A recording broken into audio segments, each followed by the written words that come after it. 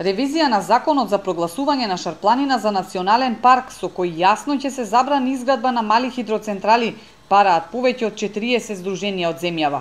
Во сегашната нацрт верзија никаде не се нуди заштита, што ќе значи победа за хидромафијата и целосно уништување на шара. Штетите од хидроцентралите се огромни, изумирање на живиот свет, намалување на шумскиот фонд, појава на сплечишта и лавини. Со бетонизирањето се прави екоцид врз природата и ова треба да се спречи, алармираат активистите.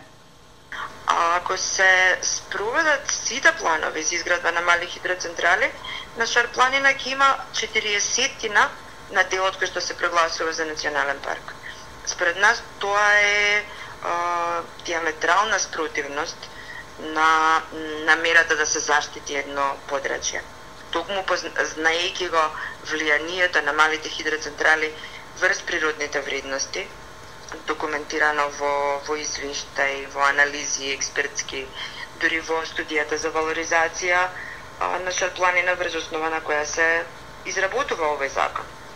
Шарпланина со години чека да биде прогласена за национален парк, за да запре незиното понатамошно уништување.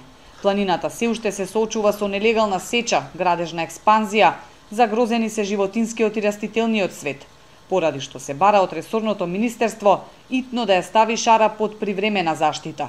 Инаку во земјава само Пелистер, Маврово и Галичица се заштитени подрачја, но сите заедно сочинуваат само 9% од територијата на Македонија, што е далеку од европските стандарди.